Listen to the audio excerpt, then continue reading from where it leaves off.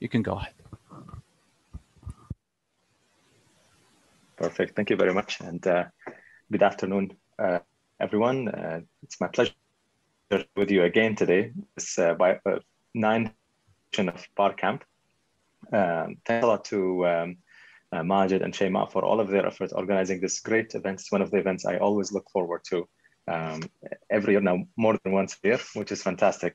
Um, today, I want to talk to you a little bit about reinforcement learning, which is a topic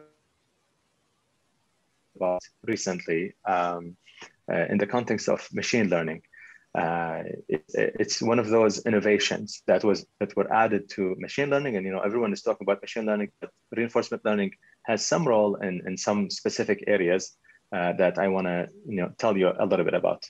Um, so the title is reinforcement learning from weather prediction to beating Atari games, which is what reinforcement learning was used to create a, a system that can be given any Atari game without instructions, and the system would be able to learn how to play the game and beat the game. So games like Pong and that sort of thing, so older games, but uh, but still very impressive work um, in that particular paper. And if anyone is interested in the academic side of it and wants to talk to me, I'm happy to. Um, I've got my my Twitter handle here if you want to uh, contact me uh, and ask me about reinforcement learning. Um, so the concept is very simple. So we start with machine learning. As you know, in machine learning, we have uh, a system in which the, the, the, the, machine is learning to associate between a set of inputs and a particular outcome. So you can think of it in other terms as well, but just to simplify it, we're going to talk about inputs and outcomes. So for example, let's say you have a weather system uh, or weather prediction system that, that will tell you whether or not it will rain five days from today. So today is Saturday, and maybe you're planning something on Thursday, um, although you shouldn't be, you know, sitting in, in, in inside spaces with a lot of people uh, for health reasons.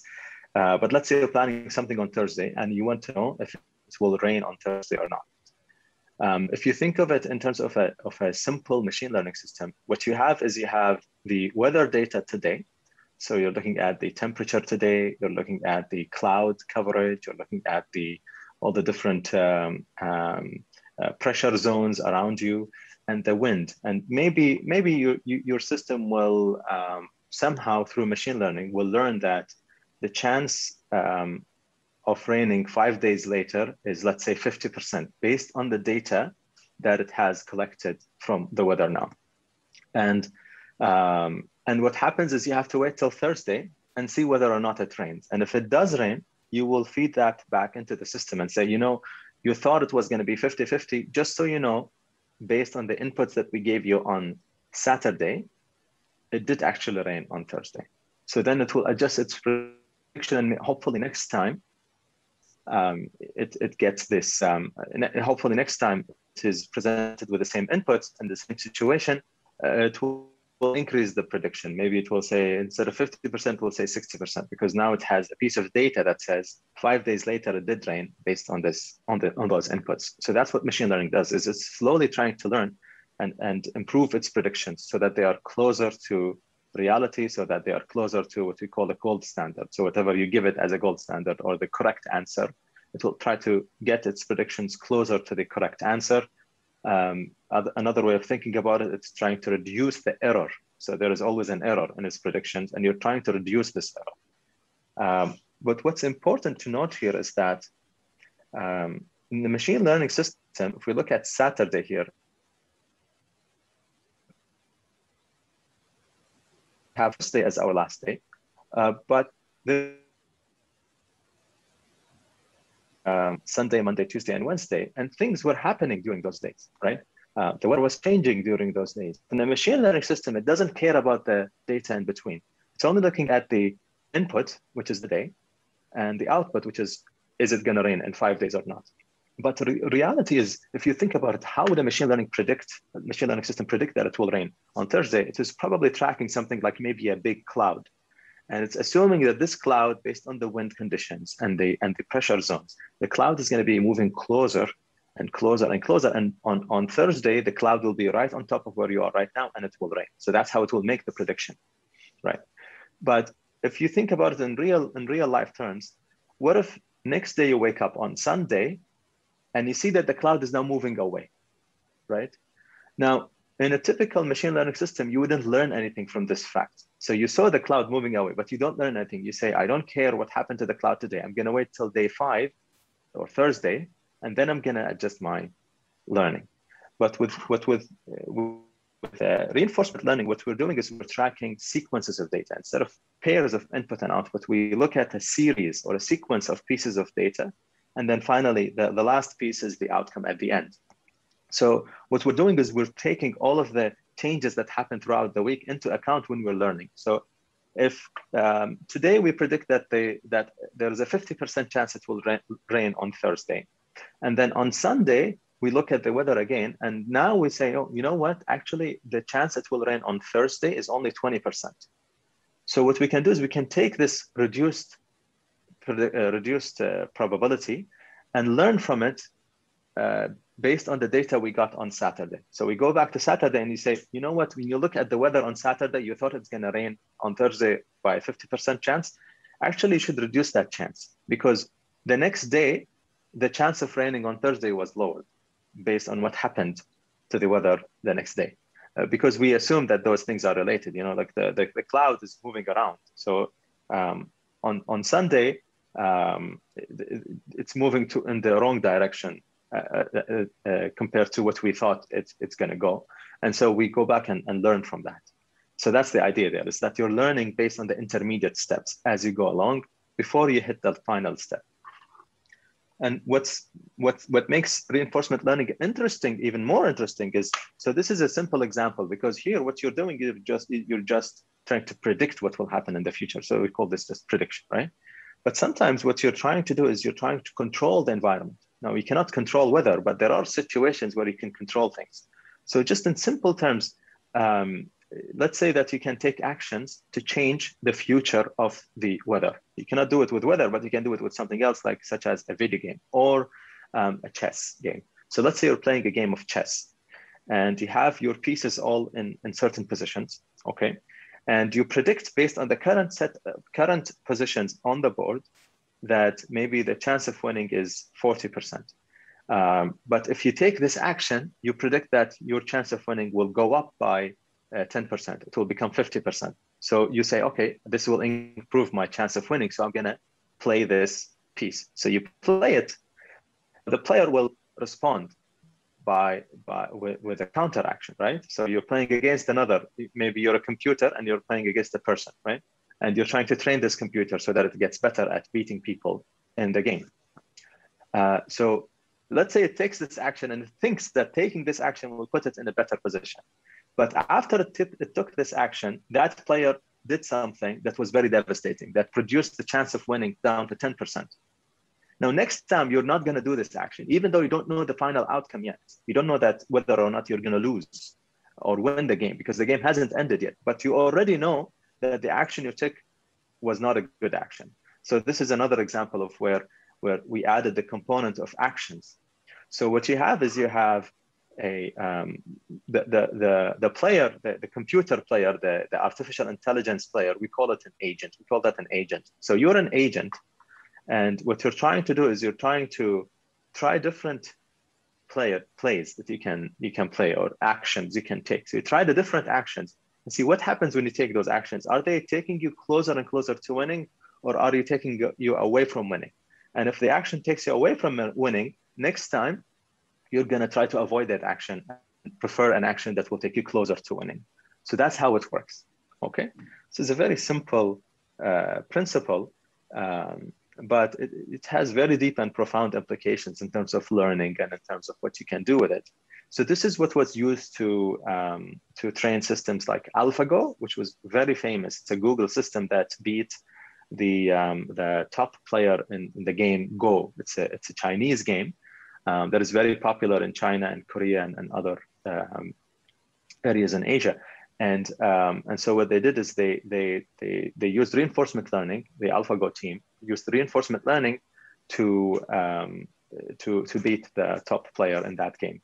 Um, and, and, and I think they played five games and, and AlphaGo won four out of five, if I, if I remember correctly. So it was a devastating loss for the top player. And there is a very nice, uh, there is a very nice um, documentary about that on YouTube. So if you search AlphaGo, you will find a very nice documentary. And then and they had there are other alpha systems that they that they came afterwards, and they're also very nice and they're all very well documented. And this is a team called DeepMind. It uh, it's a Google team, but it works independently, and they are based in London, the UK. So what I'm going to show you finally is, is this example of where what what you can do to train uh, the computer to win at lunar lander. So you know the game lunar lander. Um, it is where you have a, a like a, spaceship or, or a, a, lander that has two legs. So if you look at the bottom here, bottom right of the slide, um, you've got this lander and it's trying to land down here on the ground. Okay. Uh, but the way it's trying to do it is by uh, it's taking some actions. So what are the actions you can take?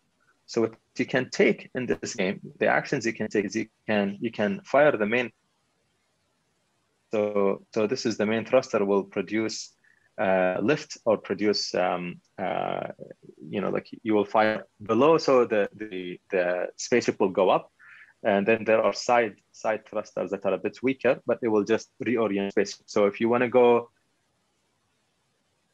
the right thruster so that it tilts left and you would fire a little bit of the main thruster to go there and then you would fire the right thruster and, and adjust and so on. And then you can leave it for to gravity to take you down but if you're going too fast with gravity you might hit the ground hard and crash. So you're going to be giving small bursts of um, uh, thrust under you to, to soften the landing. I'm sure that you've played this game. It's a very very old and very popular game. So lunar lander. So what i did here is, is i tried to um, teach my system, my agent, to play this game and and land the the lander softly, uh, softly and perfectly. Uh, so what I what I have is I have uh, a number of actions I can take. I can fire, as I said, so I can fire the main. So I'm gonna point at the actions now. So those are the actions you can take. Let me highlight it. That may look better. So you can take a number of actions So the actions could be fire the main thruster, fire the right uh, orientation, fire left orientation thrusters, or do nothing. So you just leave the aircraft and let it go down by gravity. Okay. Uh, and the way you take those actions is, is you have to look at the situation, right? Or what is going on. And so the situation uh, or what is going on is, is all the inputs you have. So the inputs would be here.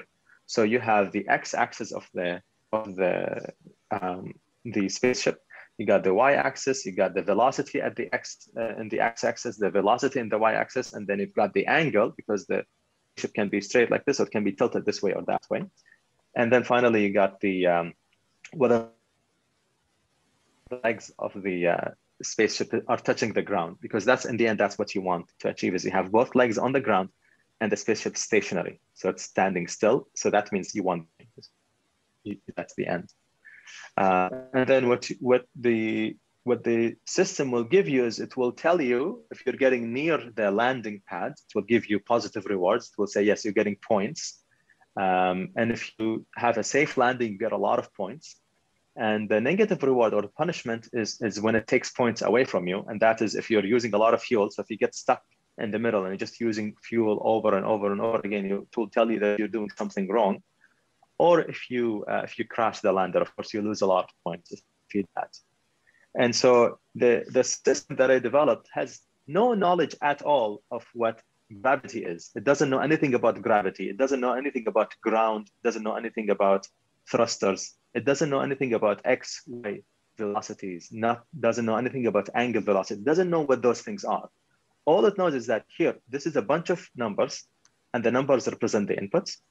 And this is the reward you get for taking an action. And you can take one of four actions. And it doesn't know what the actions are. It doesn't know that the, this action is main thruster, this action is left thruster, right thruster. It doesn't know any of that. All it knows is, is you know, it can take one of those four actions. And based on taking those four actions, something will happen, either positive or negative.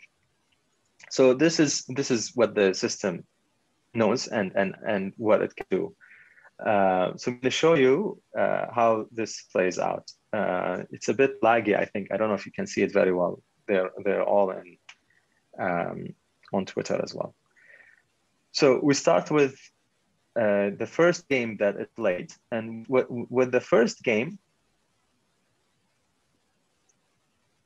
with the first game, it uh, it basically just crashed. It didn't know what to do. It was playing the all positions randomly, right? It was it was trying, you know, thrust, left thruster, right thruster, down, uh, main thruster, doing nothing. It will just alternate between all the different actions randomly, and trying to learn what happens when I do that.